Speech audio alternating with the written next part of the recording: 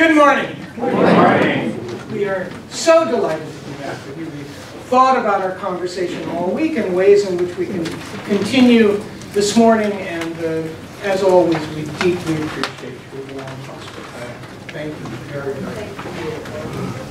Uh, I'll begin with a quick review of uh, some of the things we did last week, and then we are going to indeed move to a second dilemma, and then perhaps introduce a third as well. We said that our, our interest these two weeks was, first of all, to uh, engage one another simply in exploring the moral implications of the stories that we've gathered over the years and are sharing with you, and then to familiarize ourselves with Jewish sources historically that deal with these issues, and then to reflect on the process of using such sources to stimulate and guide our thinking as we grapple with these questions. What does uh, it matter if we explore such questions in ever larger circles of conversation, reaching back generations and millennia to experience perspectives that may be far removed from our own circumstances, is that nevertheless perhaps an enriching way to think through the most difficult moral challenges we face? In uh, my introductory comments last week, I told you a little bit about the kinds of sources we're using. We're using, I said, on the one hand, sources rooted in biblical law, which came to be referred to uh, in rabbinic literature as halacha, as a way, or perhaps some have said as a way to a point, a way with a goal, as compared to agadah, talk. We said that halachic sources are uh, characterized by their uh, establishing a norm or specific circumstances. You tell me where you are and the question you have about your circumstances, and I will try to formulate a normative response to the question, what do I do?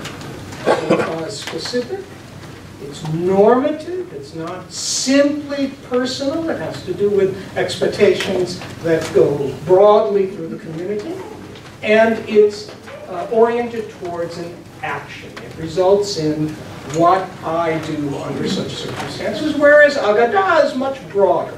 Has to do with ideas, concepts, example stories, narrative, aphorisms, and the like, and he presented a little bit of both. But as I, I said last week, the development of Jewish culture was primarily in terms of halachic definitions and a agadic refining of attitudes. Halacha defines the Jewish life. Agadah refines the Jewish life. And in that respect, our primary consideration is focused on the halachic material we have. As I said very briefly last week, one finds in the earliest layers of Christian sources this distinction. Most notably, in what sets the Gospel of Matthew apart, and to some degree, the letter of James, from much of the rest of New Testament materials that Matthew is clearly written for Jews in those earliest generations of the church who were still committed to a halakhic life. And their question was, now, what is the halacha like for people in this community? You find it quite pronounced in Matthew in particular. And of course, we're familiar with Paul's second thoughts, is, on the other hand, regarding that way of looking at being a member of God's community. Paul's insistence that ultimately the life of a member of this new community is defined by Haggadah, that perhaps in some circumstances requires a normative complement as well. Paul attempts to flip this paradigm. In our closing reflections, we're going to ask that we perhaps take a moment to think about that distinction and its role in our lives personally and in our communities. We began last week with a dilemma, story that came to us. It actually is a, a story laced with a problem that we heard firsthand. And uh, you recall it has to do with a couple who find themselves, as they were aptly defined at the close of our conversation last week, as somewhere between the parents of their children and the children of their parents. And the dilemmas that arise under those circumstances. In this case, having to do with where one ultimately makes one's home. Without going through the details of the dilemma one more time, I would, however, like us to look at the source sheet that we began with last week, if you have it with you. And in particular, quickly look at the sources that we didn't get to. Open uh, ourselves for a little more conversation, and then turn to a new story. You recall that we noted in the Old Testament, the Hebrew Bible, there are two primary legal, halachic, normative statements regarding relationships between children and parents. One is framed in terms of the value concept kavod, the other yir'ah. In the sheet that I provided you, I didn't translate the terms because I wanted to protect us from leaping toward the connotations we usually have for the words that are typically used in English for those two terms, honor and fear or reverence. Instead, we move to the rabbinic sources, Mishnah, Talmud, early Midrash, that attempt to make sense of those terms. And we said in early rabbinic sources, interestingly enough, kavod is uh, associated with its root word uh, base, which has something to do with weight or substance.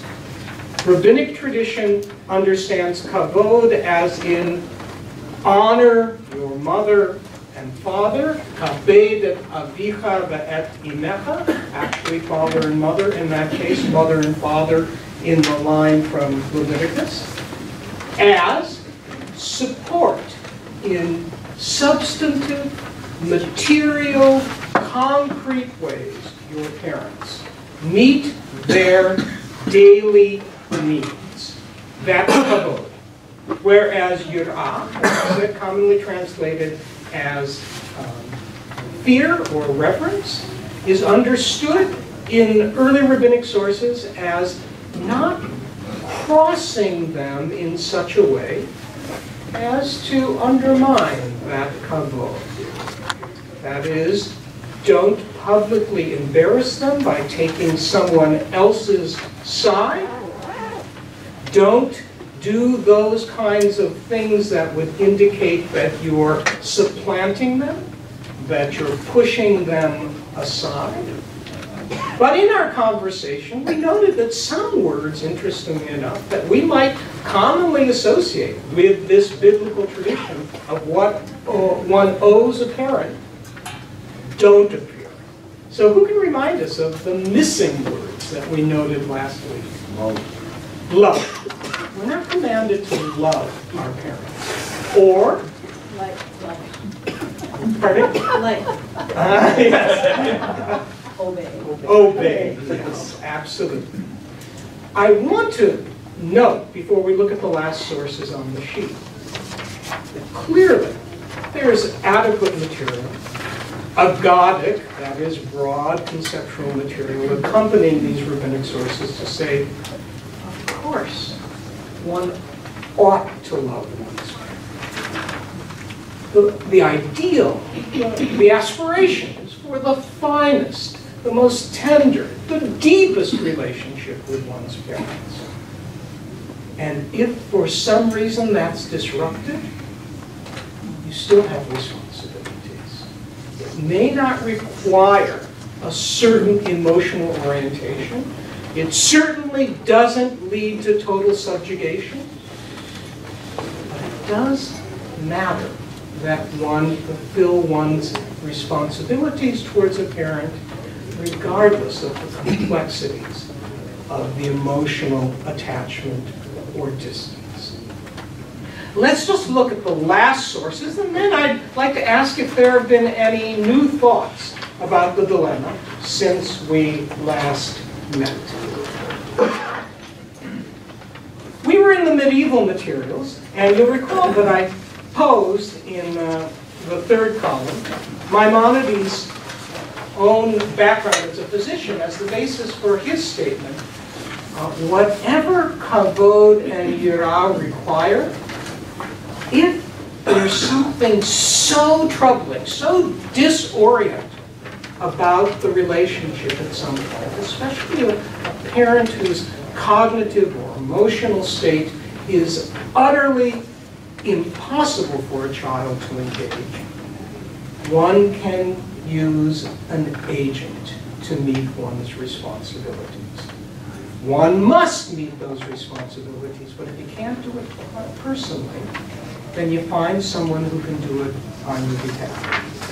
To which Abraham ibn Daud, a contemporary of Maimonides, an almost comparably well-known Jewish thinker of the 12th century, and leading halachic authority, says in a commentary that he immediately attached to Maimonides' halachic code. Maimonides publishes this code, it comes out, and almost immediately this commentary by Ibn Daud appears with it, in which Ibn Daud says, that's wrong. that's what he says, that's wrong. or if you leave, who could one ask to care for the parent? It's striking. And I would just say, it seems to me there are two possibilities for Ibn Daud's uh, incredulous reaction.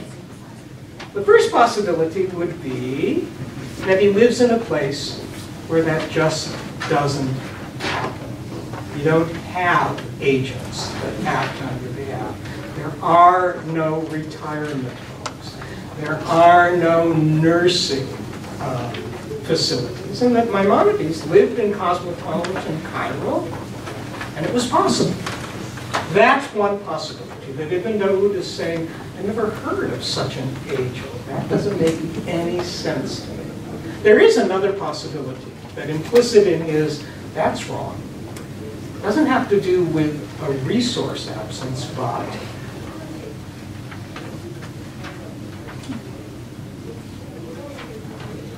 if one leaves, who could one ask to care for one's parent? Suggests that Ibn Daud says we're talking about a certain quality of concern, and that is inherent in a parent-child relationship. I just don't know how you can call an agent comparable to what a child could provide.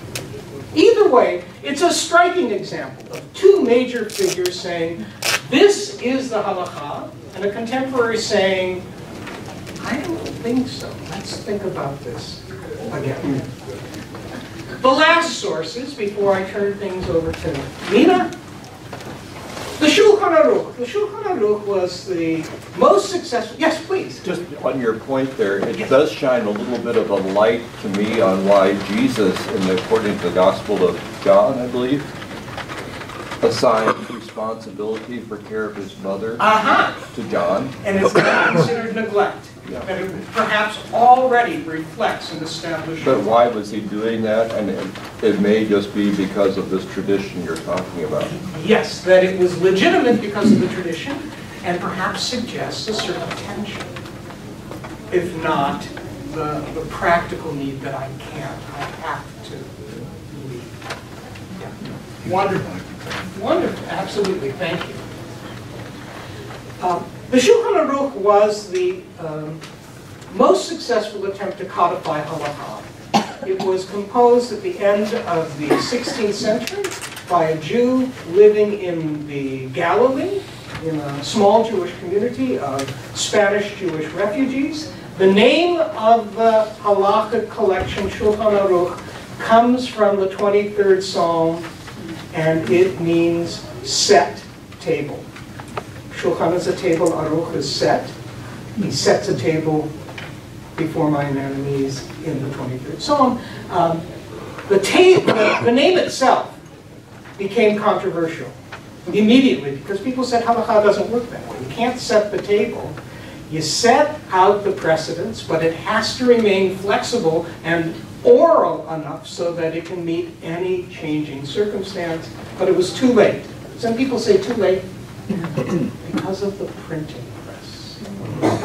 The technology that was coming into use at the time changed people's attitudes about the way halakha worked. At any rate, the Shulchan Aruch attempts to codify the preceding halakha, and without going into any detail about that passage from the Shulchan Aruch, except to say that on the one hand, the halakha is sustained.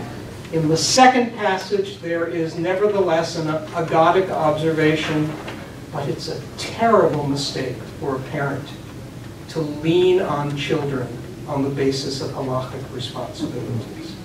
That they can expect it, but wise parents don't demand it unless they really need that help.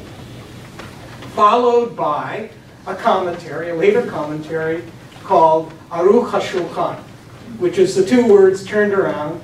Shulchan Aruch means a set table.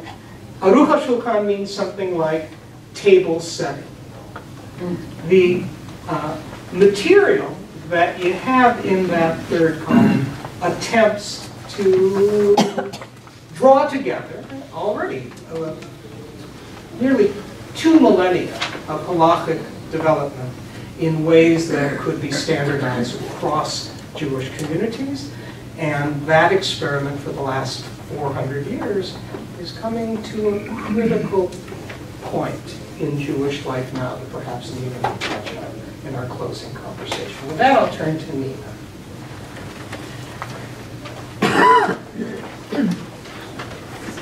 Good morning, everyone. Good morning. Make sure that I turn this on so that I can be heard.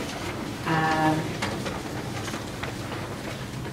We know that this is an issue, the relationship of parents and children, that brings up a lot, a lot of feelings and a lot of opinions in people.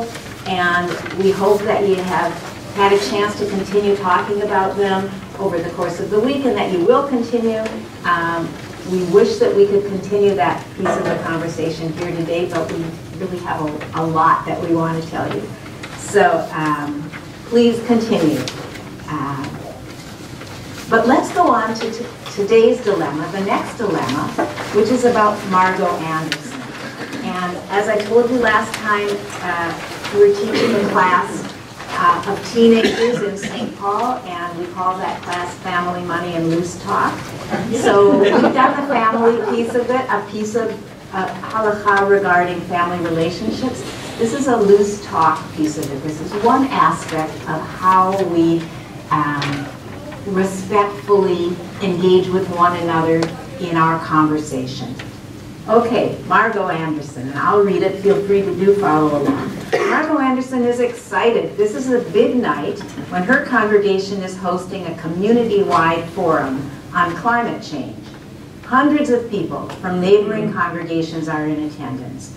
Margot, the youth director of the host congregation, has prepared her teens to be ushers for the event and their stated responsibility is to help maintain a welcoming, safe, and orderly atmosphere.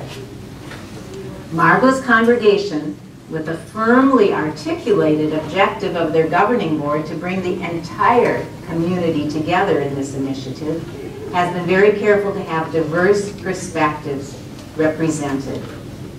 The third speaker at the forum, Dr. Niels Danberger, is undoubtedly the most controversial. A national speaker, seen by some as a pseudoscientist, he tours primarily among religious organizations promoting climate change skepticism. As the publicity from his sponsoring organization, the Center for the Study of Religion and Liberty, states, climate changes all the time, but not because of human activity.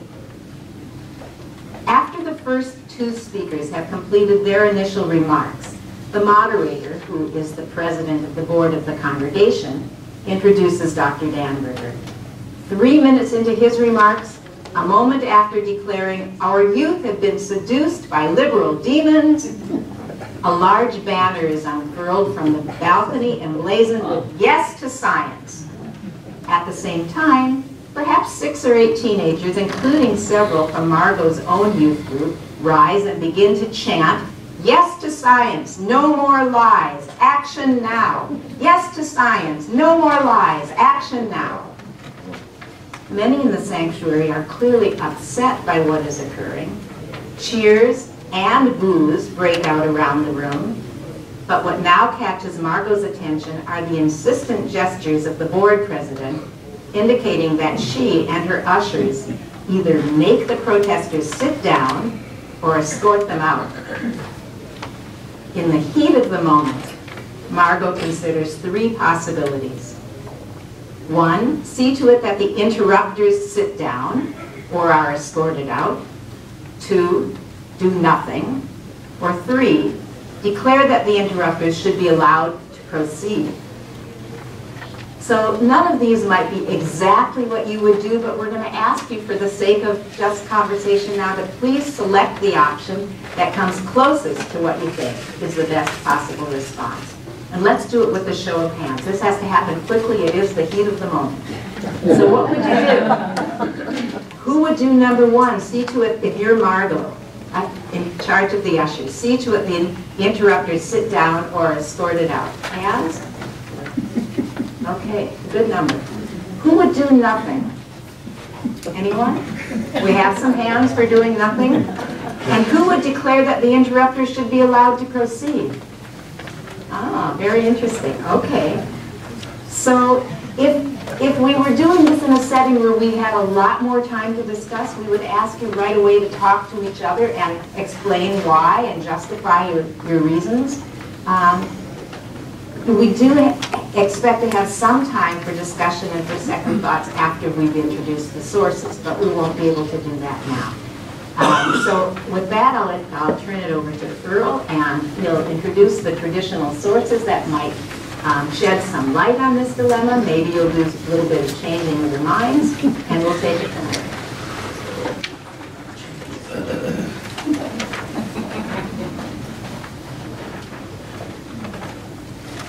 We have two sets of sources for you in this case.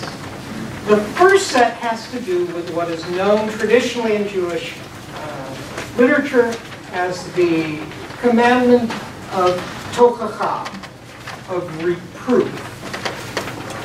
The second has to do with the tradition of the responsibility of mich'ah, of protesting a wrong when you see it. So I'd like to very quickly go through the tochacha material first, and then a little more carefully the second set of sources that I provided you. So the tochacha material begins with the do not harbor hatred.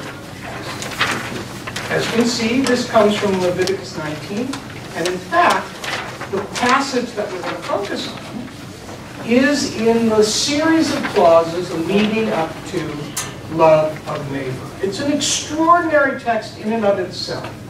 Those six or eight clauses immediately before love of neighbor are almost certainly intended to be considered as consciously juxtaposed to that culminating principle.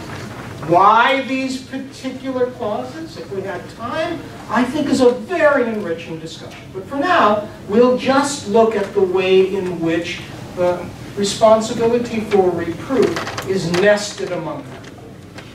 Don't harbor hatred against one of your kin.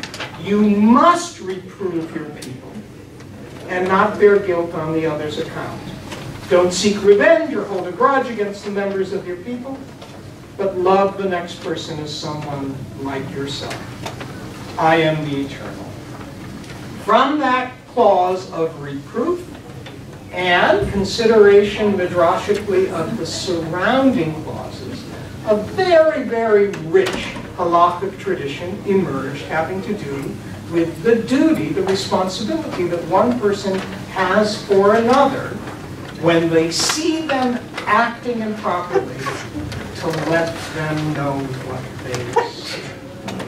But of course, as you can see in the second column, once again, such a difficult responsibility, just like the responsibility for caring for one's parents, raises an agodic, look, we know this is hard. So just very quickly, that opening passage from Midrash Sifra at the beginning of the second column, how do we know that even if you've reproved someone four or five times, you must nevertheless go on reproving? From the fact that the text says you must. In the Hebrew, the verb is repeated two times in a row, which is taken as an intensification. You reprove, reprove, which we would translate, I think, properly as must. You must do this. But does that mean to the point of humiliating the person? The text says no, and not bear guilt on the other's account. So this Midrashic tradition says the juxtaposition of you must reprove, but not bear guilt has to do with how you the guilt that you might in fact incur upon yourself has to do with how you do this. Rabbi Tarfon, rabbi from the end of the first, beginning of the second century, said, I swear, no one around here knows how to do this. Rabbi Eliezer says, a contemporary, no one of this generation knows how to take it. Rabbi Akiva, the most prominent of the three, says, I swear, no one of this generation knows how to do it. Without uh, belaboring the point, it's clear that early rabbinic sources, like we saw last are quite sober about the nature of the responsibilities placed on individuals by biblical halachic tradition. If this isn't just uh, wise advice, if this isn't just broad um, uh, directions for living a worthy life, but if you're in this circumstance, this is your responsibility. This is what you're expected to do. It's difficult. It's a difficult way to live one's life, and that's what that passage once again suggests.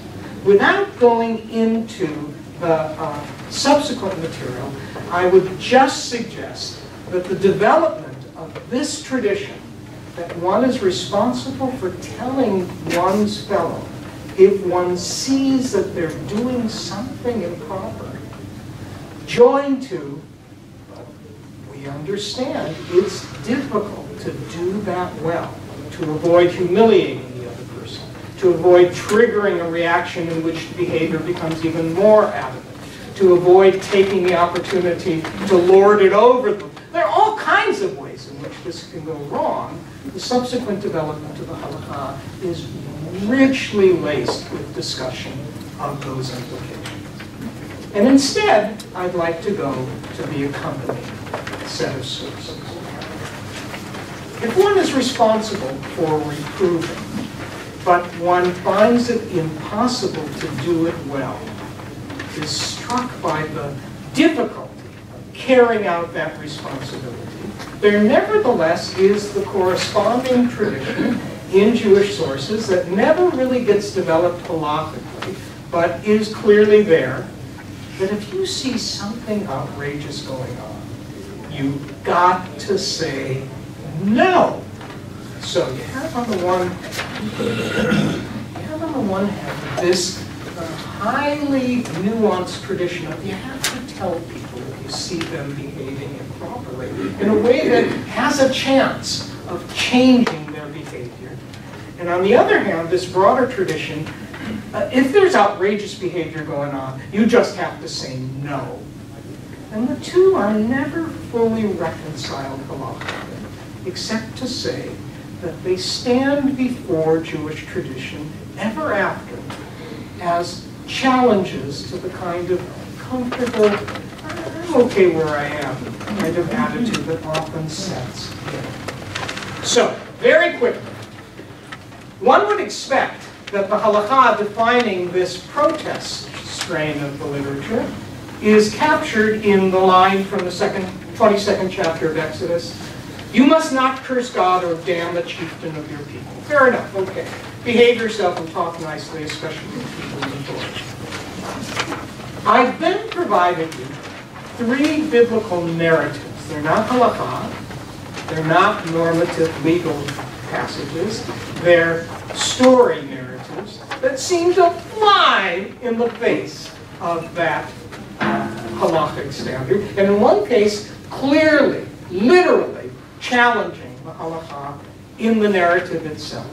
I've given you the three to give you a sense of how biblical tradition itself is so complex and laced with uh, opposing perspectives. The, the passage from Exodus seems clear enough. You talk, talk respectfully to people in authority. These three stories are stories in which the heroes don't. And on the contrary, speak outrageously to people in authority and seem to be the hero of the story. In the first case, I'll just summarize. David is fleeing Jerusalem after uh, being tossed out by his son Absalom, and along the way, a member of the family of Benjamin finds David on the route out of Jerusalem, and this man, whose name was Shimei, the son of Gera, comes out cursing and throwing stones at David and all of King David's retinue, and all the crowd and all the warriors on his right and left, and he's cursing, saying, Go away, go away, you bloody scoundrel. This is the. This guy comes out throwing rocks at him and saying, Get out of here. And in the passage, David says, when people say, Why don't I go over and just cut that man's head off? David says, You know, he may well be right. In the second passage, the story of Elijah the prophet, who when he hears that a man named Naboth has been put to death, um, contrived false testimony so that Ahab can uh, seize Naboth's land, Elijah meets Ahab at the land that Ahab has come to inspect, and Elijah says to Ahab, I found you since you sold out to evil in God's eyes. Look, I'm going to bring evil upon you. I'm going to hunt you down. I'm going to put an end to any wall pisser issuing from Ahab. What? This is the, That's That is a crude term, apparently a common crudity in biblical Israel for males. Somebody who urinates horizontally. But the, the yes, but the, the text quotes Elijah the prophet saying this to the king. By the way, in King James, it's uh, pisseth on a wall. So,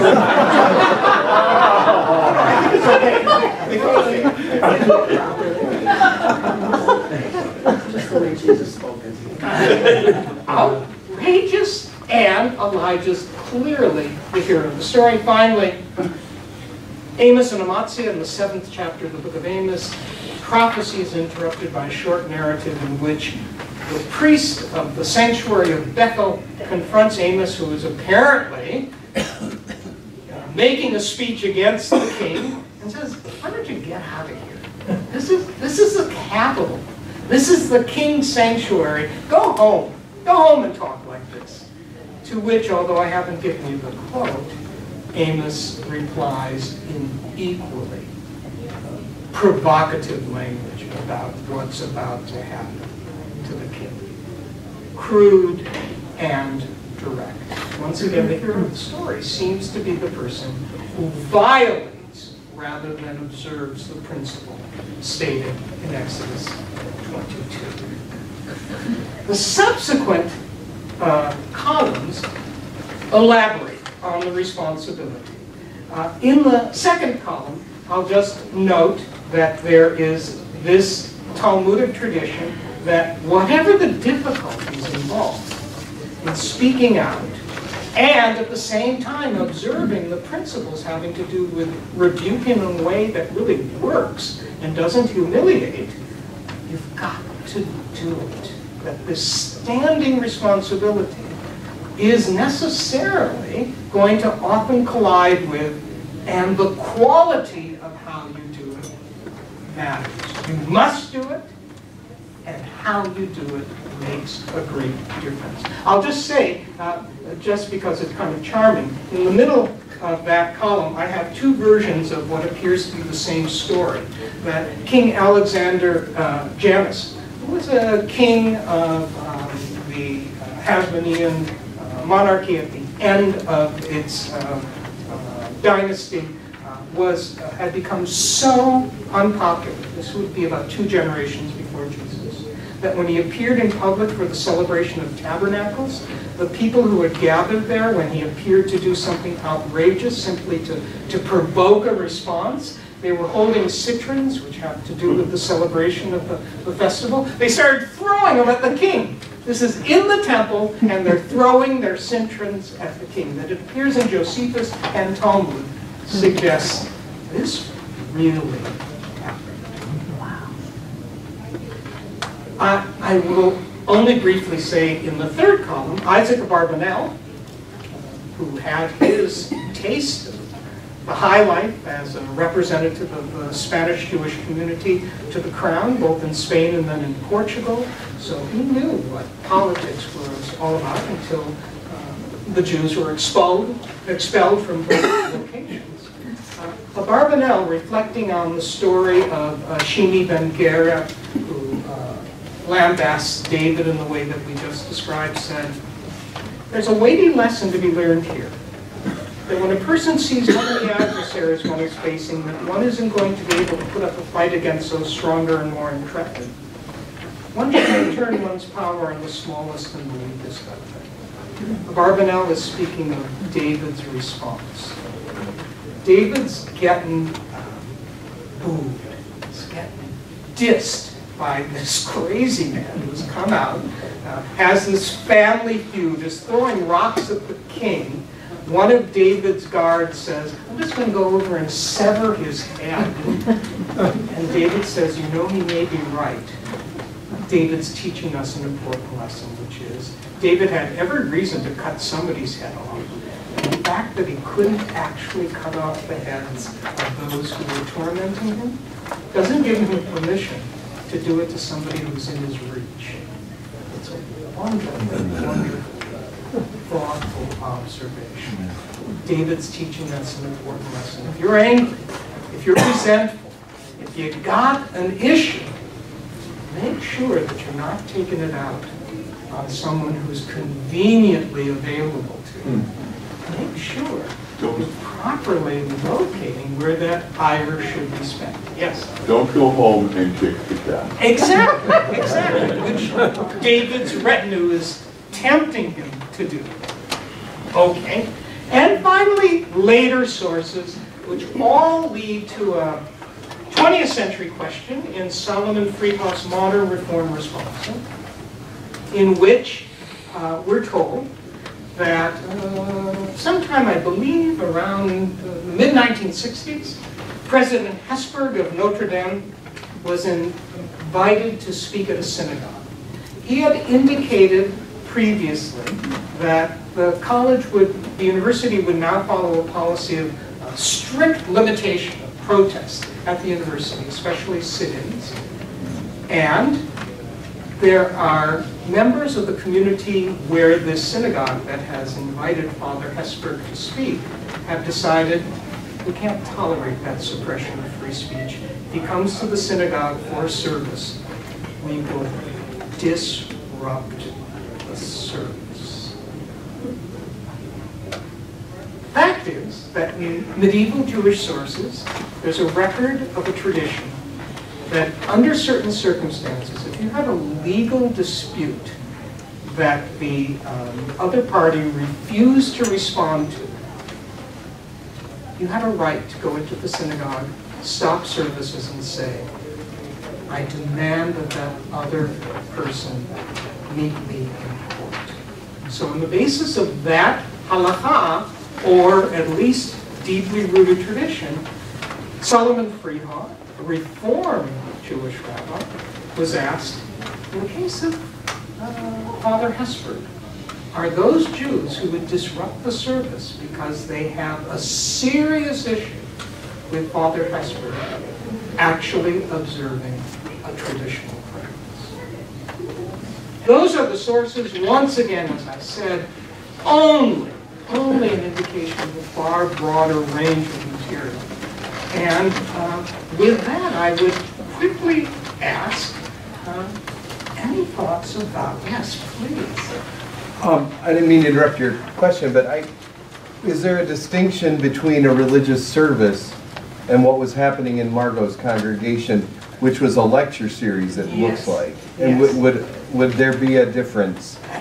Because it looks like in your medieval sources, the time of day of the service mattered, Yes, and you can only interrupt some if you'd already tried to interrupt the evening ones three times and the guy didn't listen. Then you can break into any service. but- yes, it looks like, thank you, it looks like this was a custom that was out of control. So by the time it gets to halacha, most of the halacha says, well, you can only do it in this circumstance. You can only do it if you've been thoroughly frustrated up until this point. You can only do it at certain points in the service during certain points of the day.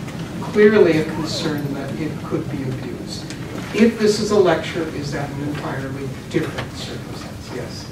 Yes, please. It just seems to me that the person who is really ethically challenged here is the president of the congregation, who expects one of his underlings to restore order when he's the one that invited the person. His board is the one that set the policy, and if anyone should stand up and create order, it should be he or she, I assume to be, you know. And that, that's where the responsibility was ignored. If you put the two, two types of sources together, the reproof source and the protest source, you might get something like, Margot walks up to the president of the board and says, I think you have a certain responsibility. I was gonna say too, that this struck me when you started this, that, that you started talking through the, the two sides that you just mentioned, the reproof side and the protest side. And in this scenario, it would be very revealing to, to hear people say, or to, to know where people were coming from, if they defined who was on the reproof side and who was on the, the protest side. Absolutely. Because that would define who you think is wrong. If you think the speaker was wrong in their opinion about climate change, and the teenagers were the pro, the properly protesting what they saw as a wrong, or do you see the teenagers as being wrong and the ones in need of reproof? Nina has a s- uh, a couple of really fertile what-ifs.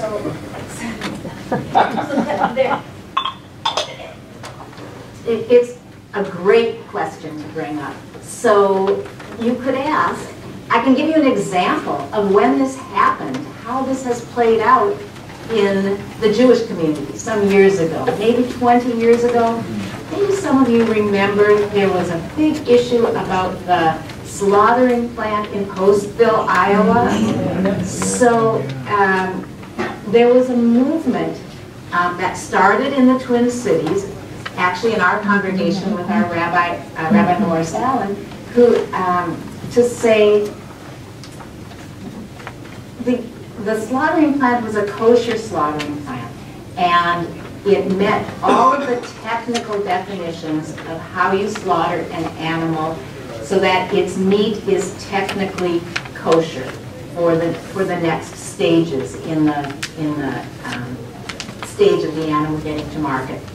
And in the process of that, um, it came to light that there, that the, the meat might have been slaughtered technically kosher, but the people who were slaughtering it, the people who were working in the plant, were not being treated respectfully. The working conditions were abysmal. Uh, they were being taken advantage of in numerous ways. And uh, we began to ask the question, is, is the process of, of, of defining what is kosher, is it limited to the technicalities, or does it include an ethical consideration as well? And should it include an ethical consideration? And so that was the start of a movement um, to broaden the definition of kashrut, what is considered kosher, to include an ethical dimension. Now, it became a social movement, a political movement, there were protests, there was a lot of public outcry about it, and it led to extreme results. Uh, The the owner of the company was actually in prison, and he was an Orthodox Jew. So the question arose, um, depending on the perspective that you took, where, who who needed reproof here? Um, Had it been done appropriately?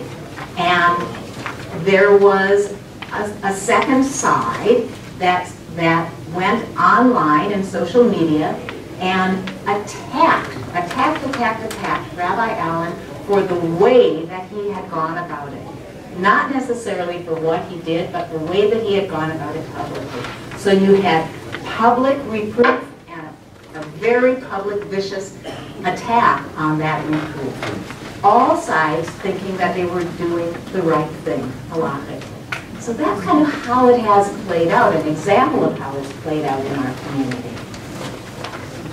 Okay. I'm just going to quickly tell you a bit more about the origins of this dilemma. Then uh, a word about the beginning of a third, and finally Nina will lead us in a closing conversation. So, first, as you can see, there's a very rich tradition in Jewish sources uh, surrounding the issues raised by this story as well. In fact, the origin of this dilemma, as we teach it, is interesting, I think, in and of itself. About uh, 40 years ago now, I was invited to develop some curriculum materials for the Jewish school that I was teaching at. And these were going to be dilemma-based materials. And for the subject matter that we've been studying this morning, my first thought was Jesus in the temple. Jesus' overturning of the tables is clearly aggressive and provocative behavior, and that that would be the narrative around which we would study the sources having to do with reproof and protest. My principal, who was supervising the project, said that using Jesus in the temple would just prove too distracting for Jewish sessions. And so he suggested instead the Amos and Amatzia material. He said it is somewhat comparable, but that last source in the protest column that you saw, the prophet Amos challenging the priest Amatzia, would be the dilemma. However, in the material that I composed, it was about a synagogue service. Synagogue service in which, when on Yom Kippur, the most solemn day of the Jewish year, the prophetic reading gets to the passage, is this the uh, fast that I've chosen from Isaiah? Isn't it to deal your bread to the poor? Isn't it to not hide yourselves from those who need you in your when that line comes up in Isaiah, somebody jumps up in the congregation and says, no more singing, no more praying. We've got to listen to the prophet. And there's a hubbub in the synagogue, and, and the rabbi steps forward and says, would the ushers please maintain order? But that story, in turn, was based on a real story. And that was during the Cambodian crisis of the early 70s, when word reached the United States that there was mass starvation going on among Cambodians displaced by endless war. At a Friday night service at the Temple of Aaron in St. Paul, the rabbi, Rabbi Raskas, came forward in the service and said, we can't we can't let this, what are we praying for? We've got to do something. And that night, two physicians of the congregation made plans to leave for Cambodia and were gone by Sunday. Which leads to the question, does it make a difference if the rabbi interrupted the service? Is that what if significant? Not someone jumping up from the congregation. At any rate, we hope once again that the process of looking through the sources in this way has proved valuable. The, the, the subject that we were going to begin, but I think I'll leave it for another time and instead turn to Nina, is the halacha of abortion. The third passage in the outline, as you'll see, regarding what we were going to study is what is a nephesh? Nephesh is the Hebrew word commonly used throughout the Hebrew Bible and translated as soul, person, people. But in abortion text, it has a technical definition, beginning with the passage in Exodus 21, 22, in which we're told, if a woman is caught in a brawl, someone strikes her, she uh, has a spontaneous abortion. The only actionable offense in that case is a civil suit against the person who struck the woman. If, however, the woman dies, then it's a criminal offense. Nefesh tachat nefesh.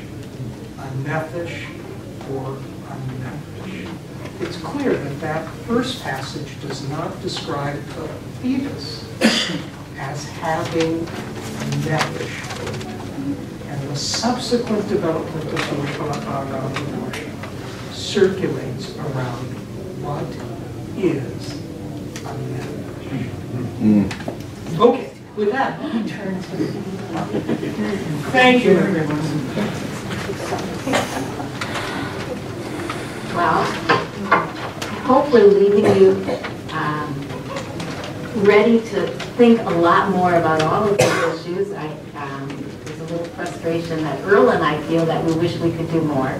Um, But you can, yourselves certainly, in taking these to the next step. But let me ask you, as, as we get ready to close, um, are there particular sources that we've looked at the- today or last Sunday that have surprised you or had a particularly strong impact on you? This is personal opinion only. Yes. Well, I, I can't say that, and I don't know these, these sources well, and I know a few of them, but and, and what struck me about them was the seriousness with which things get taken, and the openness of the kinds of conversations, the willingness to reprove another scholar because he got something wrong, and then coming back and then having defense of that. I mean, that open, um, verbal and intellectual battling, I find really, really attractive. Um, I think a living, it it demonstrates a living tradition, which is, um, is just absolutely critical to both of our traditions, I think. I think you raise a really wonderful point. One might think that to ask a a halachic question, you just get the answer. And in fact, what you do get is this living tradition with all of the hands that we've been talking about, this hand and that hand. Yes? I was struck last week and now this week again, when I teach confirmation to our young people, one of the things when we talk about the ethical Christian life that I say really early on is, if you care what God thinks, I've got a lot to talk to you about. If you don't, there's no point in any of this conversation. And what I love about what we've seen these two weeks is, this is how you care for what God thinks. I mean, this, this conversation is all about, it actually matters. What is the faithful response here? And because I'm, I think sometimes in modern Christianity, we've gotten to a point where, oh, well, whatever, do whatever you want to do. And to me, the, the care for, well, what, what would be the right thing to do here um, that's a fruitful conversation, but only if it matters to you that you might try to do the right thing. Other than that, it's, it's sort of a wasted, a wasted talk. So I, I appreciate the, sort of the intensity of the desire to try to get this as close to what we think would be the appropriate, the godly response. Thank you, thank you. It's interesting to hear it, certainly from your perspective as a pastor, and I can say that Jews have had to, tr- to grapple with this, um, especially the obligatory nature of the sources, which has been very difficult. It's difficult for all of us, um, even if we do care and we start from caring mightily, um, to, to take that care and these difficult uh, challenges we might say, I care so much about this issue, so intensely and so personally, that I have to be the one who makes the decision. And that's from the perspective of, of rights, right? It's got to be my choice. How could I trust anybody else? And on the other hand, to say, I care so mightily about this that it mustn't be just my decision. I must consult others, others that I trust, others that I have a relationship with. And sometimes it's even the right thing for me to take their response, to take their answer, and, and to trust that and to say, okay, you've done the thinking, you've done it in an intense way, in a way that listens to all perspectives, I need to trust that. And that's the language of obligation. So we, we, we're all challenged by that as modern people. Um, and modernity has greatly intensified that struggle. Um, if, if you come out as a um, Orthodox Jew, Orthodoxy has become increasingly reactionary and has said, well, the answers are there. We don't look, we don't, it's, it's not as living as it once was. Other Jews are happy at most to consult the halachic process and to give it a vote, not a veto, as they say. Um, but there's, so there's all those hands there. We've been struggling with hands since we started. The one hand of, the, the two hands of the competing values, the two hands of my opinion and your opinion, the raised hands, three hands, five hands. Um, the hands of the process, which is, has been on this hand and on the other hand. We've seen the sources also compete with each other. We need to conclude, and what we would like to do is conclude by bringing all of those hands together and thanking you.